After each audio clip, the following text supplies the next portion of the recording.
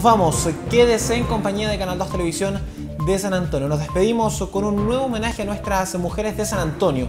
Nos dejamos con una historia llena de sacrificio, lucha y pasión. Hablamos de la historia de Violeta Gallardo, quien por seis años vive en la Villa Génesis y ahora está a meses de poder cumplir su sueño de la casa propia. Que esté muy bien.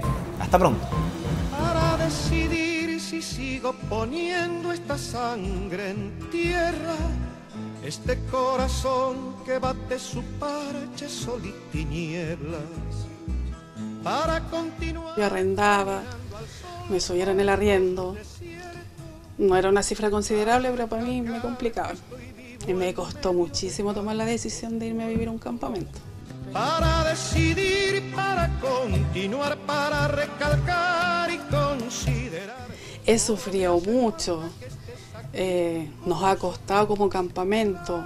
Yo no fui la primera en llegar al campamento, aquí hay otras personas, otras mujeres que llegaron a armar el campamento nos ha costado, pero lo gratificante, eh, hemos conocido gente muy linda, gente que nos ha ayudado muchísimo y, y hemos creado hartos lazos. Ay, fogata de amor y guía razón de vivir mi vida. De nosotros en cinco años, seis años, pasamos de ser una toma ilegal a ser un campamento y nos vamos a vivir un condominio social. Que el condominio va a tener el mismo nombre que tiene el campamento. Se llama Villa Génesis. Para descartar esta sensación de perderlo todo y lo más importante es que mi hija quiere tener su pieza sola.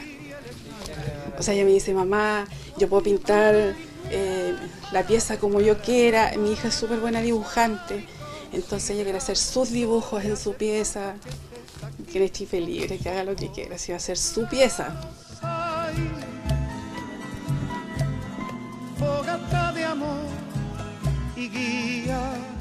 Aquí hay muchas que son mamás solteras, eh, muchas mamás que se separaron y ellas igual siguen luchando por sus hijos. Y, y tanto así como en la misma línea de, de darle un bienestar a sus hijos. Y guía, razón de vivir mi vida. Los sueños se pueden hacer realidad. Mientras tú te esfuerces, te sacrifiques, y hagas con respeto las cosas, los sueños se cumplen. Cuesta. A unos les cuesta mucho más que a otros, pero de todas maneras que se puede.